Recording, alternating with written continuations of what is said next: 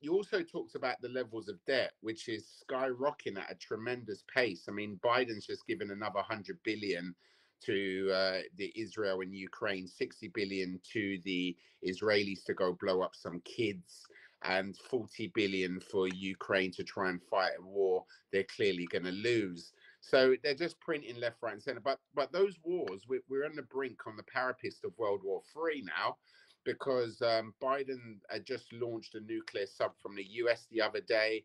Congress has given the US approval to attack Iran. Uh, we've got the Taiwan and Chinese situation kicking off. I mean, the world is at a parapet to World War Three. So gold is deemed just to go up for that reason, let alone inflation, let alone currencies dropping.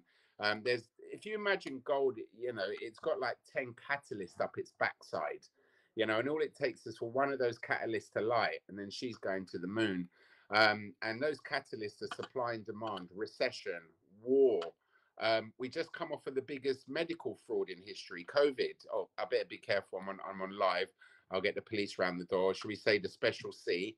Um, you know, all of these things are, are, are, are certainly um, pushing gold up because, as I say, it gives people a chance to get off the radar, get power, get freedom. It's one of the very few asset classes that's not recorded, and it and it kind of gets us out the rat race, which is magic. But yeah, this debt is uh, is going to continue to spiral until it goes bang, until the US defaults, which again is quite likely, and we haven't seen that before. After all, gold was reclassified the only other tier one asset in the world by the BIS in 2019, and lo and behold, is it a coincidence that the world's central banks, largely these countries that we're talking about, have bought more gold over the last two years than any time in central bank history? There will be a moment, just like the Russian finance minister has promised us, where they issue a common settlement currency. And I think it will be pegged to commodities using blockchain technology to show the veracity and the immutability.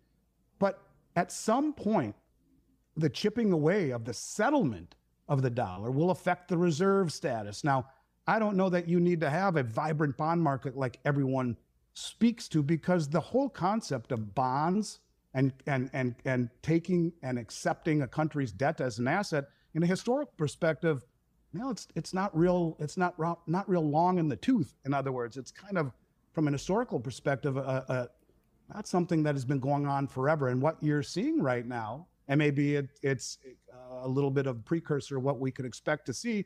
A lot of these countries, like China and Japan and Saudi Arabia, and a lot of the countries in the BRICS, they're they're shedding treasuries at record mm-hmm. levels and replacing it with gold.